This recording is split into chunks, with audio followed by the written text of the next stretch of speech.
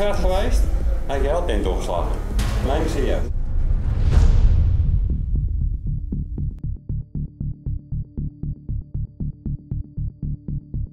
Ik ben gewoon de leukste stagiaire die ik binnen heb gehaald, gewoon, hè? Dag mevrouw. Zo, dat is mijn nieuwe stagiaire. Oh. Nou, leuk ding, hè?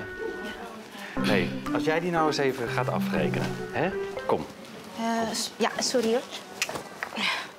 Zulke mooie haren, hè? Dat was bij die eh, sollicitatie. Dat was ook zo'n eh, oudere mevrouw, maar dan denk je, dan heb je toch liever zo'n strak ding, hè? zulke haren. Ik wil eigenlijk voor een, een mooie poster hiervoor. Ja. Hè? Moet je kijken nou toch. Ja, oké, sorry. Zo kan hij wel weer. Ja. Ho, ho, wat doe je nou? Nou, ik kan me voorstellen dat ze, ja, dat ze, ik zie aan de dat ze het niet prettig vindt dat Wat? u te veel aan de komt. Zo. Ja, Ja, nee, maar- ik vind het niet. Nee, ik kan me voorstellen. als kom. mijn dochter was, Hè? had ik je de winkel uitgetrokken.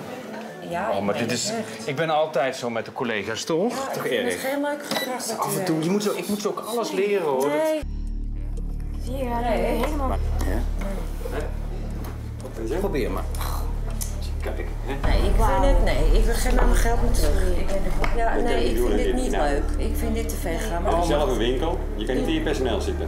Geen Als het in mijn winkel Dat gebeurt, meen dan ik, draai je de tering uit. Ja. Niet. Ja, maar, maar ik... Ik Je mag maar ik vind het niet... eh, Nee, maar...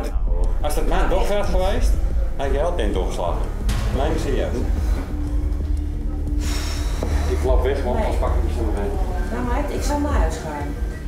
Nu wordt het echt serieus. Die man is echt heel boos. Die pet dan? Die moet je, gaat niet maar in je broek zo, weet ik wat. Ja. Hi. Mag ik even een hand geven?